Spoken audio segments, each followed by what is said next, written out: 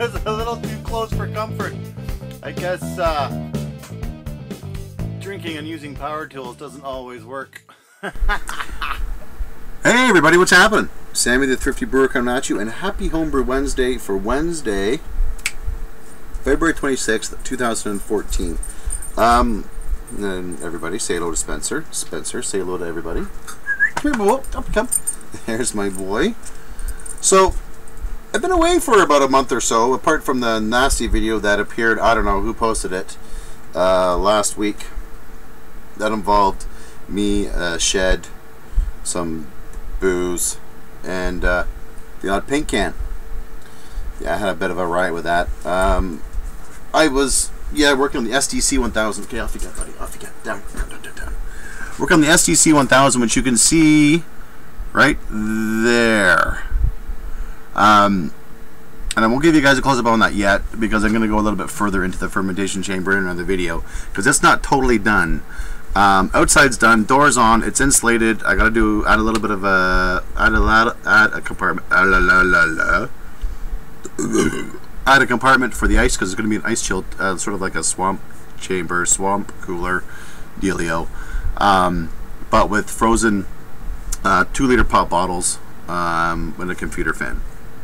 It's currently holding at uh, 19.7 and my heat source is actually a paint can with a 50 watt bulb inside hooked up to the STC.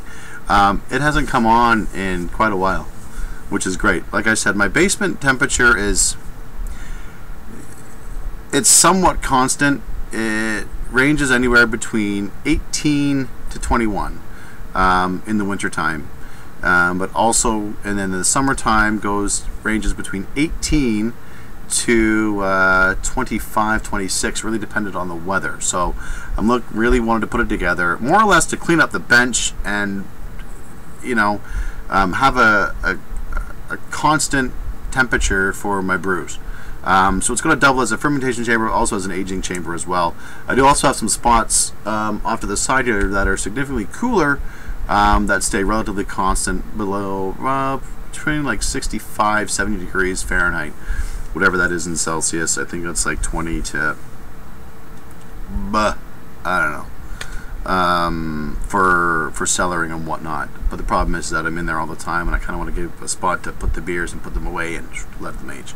Um, and that's working out quite well. So uh, the inside's all done. I just have to do the uh, ice chamber compartment. Uh, the fans and temperature controllers hooked up. Heat sources in there. Shelves are there. I've done test fits with carboys. I can fit basically, once I get the ice chamber in there, I'll be able to do two carboys for sure.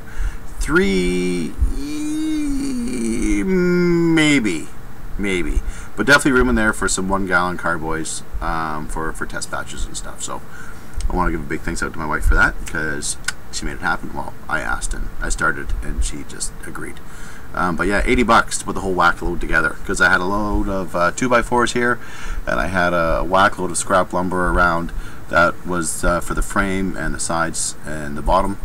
Um, insulation was like 40 bucks and trim and everything else was like 40 bucks. Maybe the heat source was like 20. So let's say 80. Let's say 100 bones in. On the STC was 27, so 120, 130. It's going up, isn't it? Yeah, $130. So thrifty, yes. As thrifty as I could have made it, no. But I'm happy with the results. I still have to paint it. Um, I'm going to do chalkboard paint on this panel here on the inside on the inside of the front door there, so I can record um, because I love chalkboard paint. That's what's on uh, Jezebel here. Um, so I can record, you know, what I've got fermenting, when I went in, what the starting gravity was, um, also what I've got aging in there on the top shelf, bottom shelf, because I used to do a lot of labeling, but I just found it very time consuming. Um, so now it's just basically, it's a letter and number code to let me know what it is. So that will correspond to what's written down on the door to make life simpler.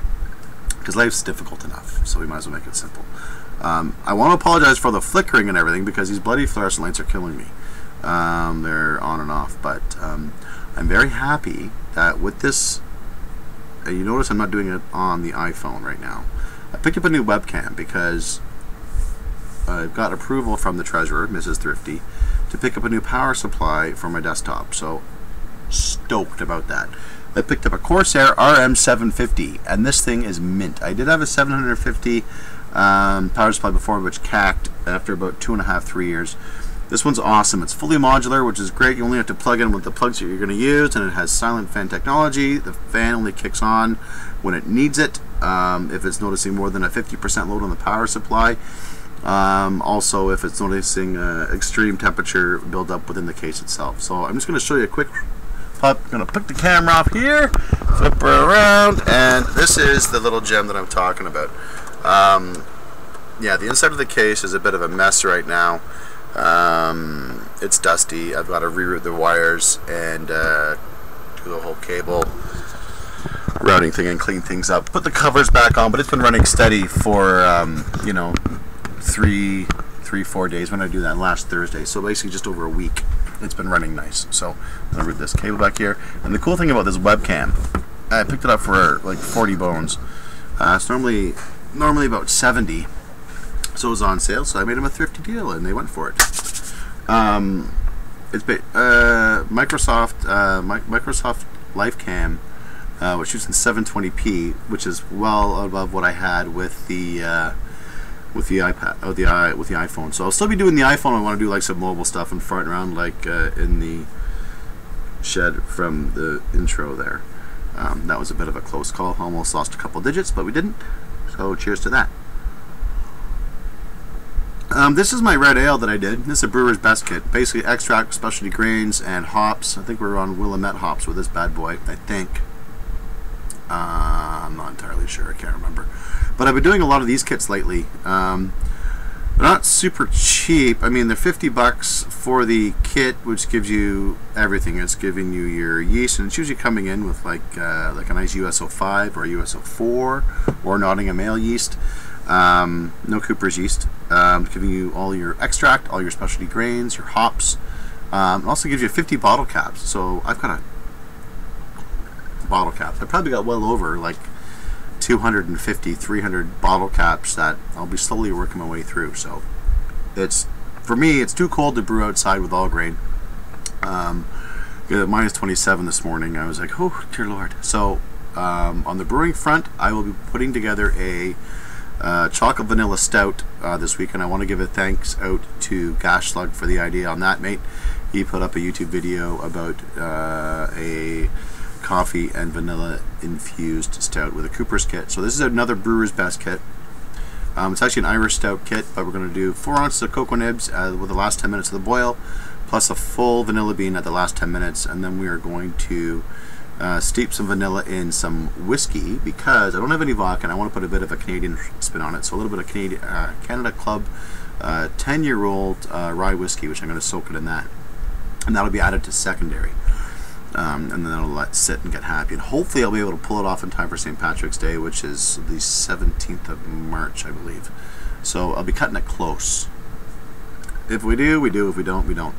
Then also going to brew a cream ale up real quick, which I've done before in the past, and I love that kit. It's awesome. It's all extract, and it's just super, super, super easy.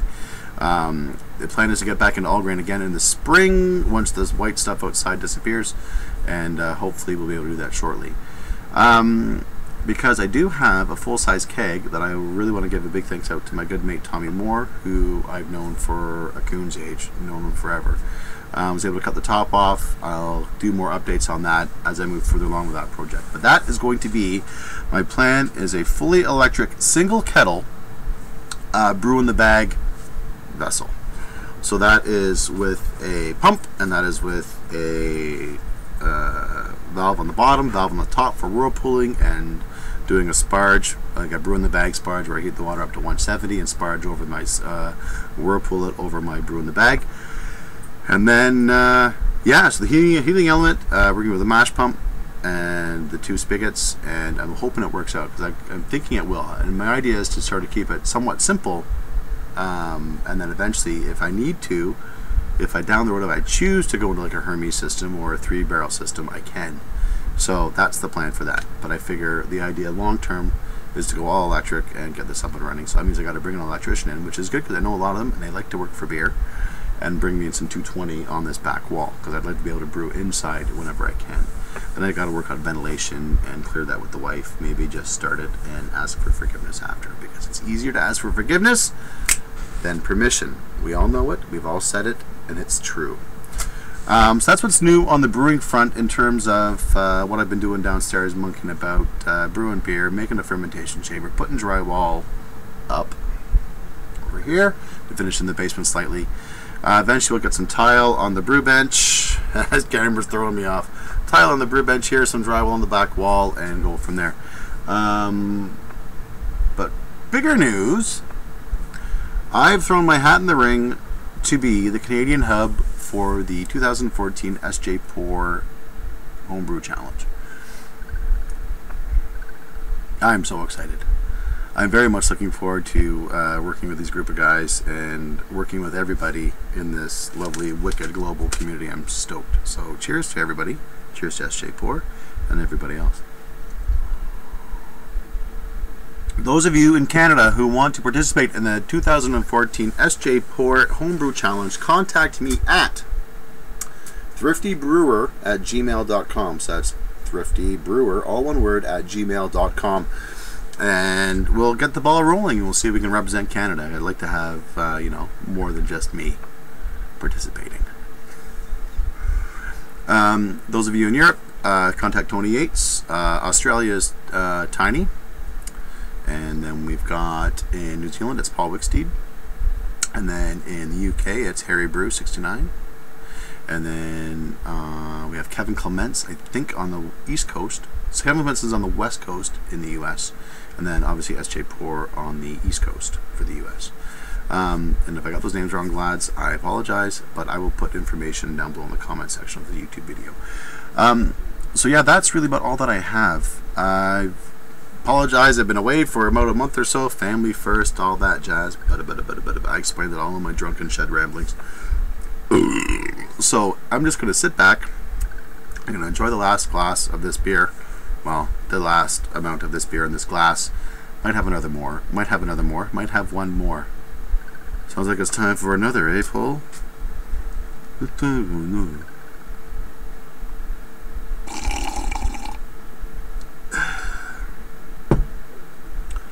And to further that, I want to thank personally, I want to thank Harry and I want to thank Tom for their all of their efforts on putting together the midnight brew session on Uvu and Vaughn Live last Friday. I laughed my ass off.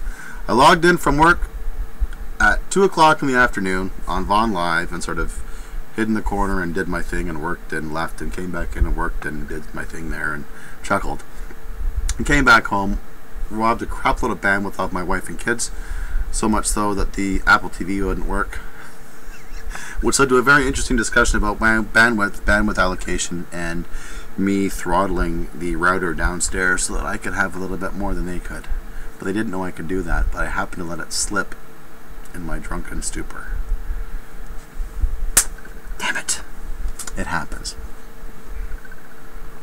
Secrets we keep to ourselves and tricks we keep to ourselves. Sometimes they fall out and they slip out, and it happens. Ah.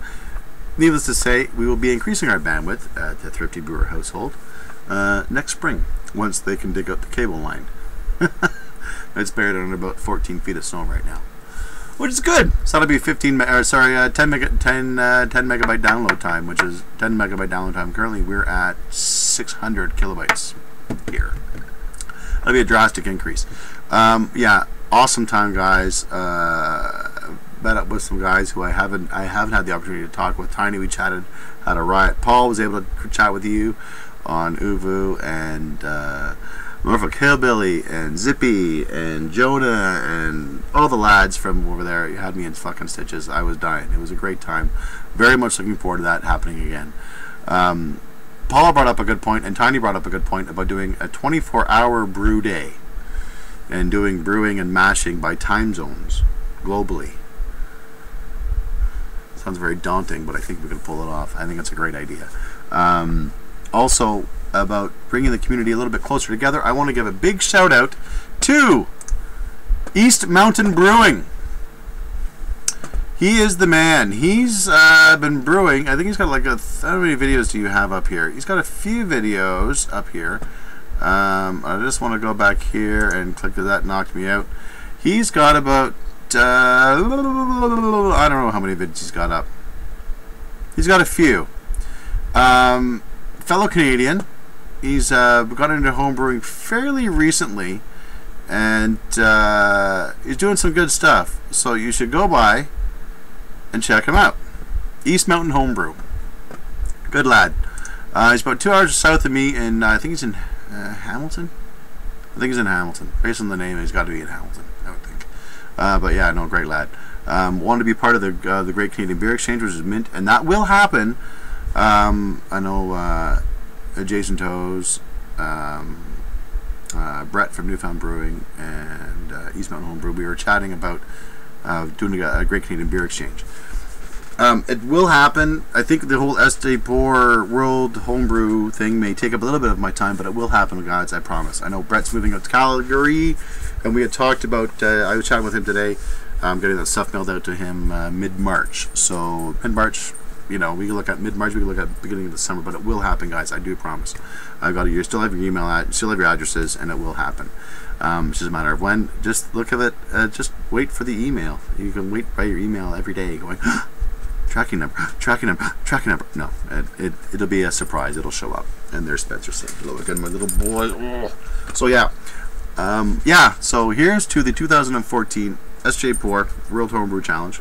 Cheers to that. I will do my best to be your Canadian hub. Um, those of you who want to get in contact with me, w, or sorry, thriftybrewer at gmail.com. Send me the particulars. And when I have the information, I'll pass along to you guys. So I'm going to go feed the dog because he's apparently a little hungry. And uh, we'll talk to everybody soon. Take care, and I want to thank you all personally so much for liking, subscribing, and watching my videos. Like I've said many times in the past, um, there's a lot of time that's required to watch these things, and I really thank you guys for taking the 15 20 minutes out of your day and uh, you know liking and subscribing. Uh, so thanks so much. Take care. Um, and all the best. And by all means, keep calm and brew on, everybody. Cheers. And the Spence, you want a little sippy? Want a little sippy bubble? No? Alright.